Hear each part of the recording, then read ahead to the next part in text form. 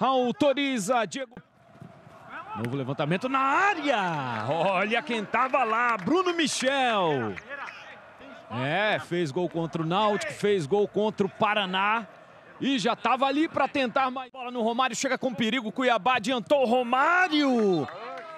Perdeu um pouquinho o contato com a bola, o que dificultou ali na hora do cruzamento.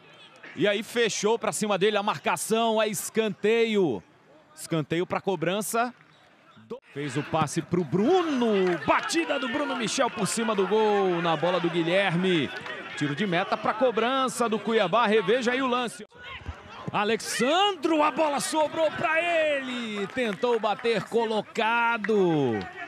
Se lamento, Alexandro. Na saída, cobrança para o Figueirense. Guilherme na segunda trave. Defendeu João Carlos a cabeçada do Bruno Michel. A cabeçada do Bruno Michel, a defesa. Tenta mais uma chegada do Figueirense. Everton Santos no cruzamento. Opa! Achou, João? A condição é boa. Descida do Felipe Ferreira para fora. Levou uma bronca. Maxwell, ele na frente do goleiro Maxwell. Teve desvio do Rodolfo, perde o gol Maxwell. Encaixa mais um contra-ataque o Cuiabá. Lança do escanteio. Bruno manda a bola fechada. Passou por todo mundo. Gol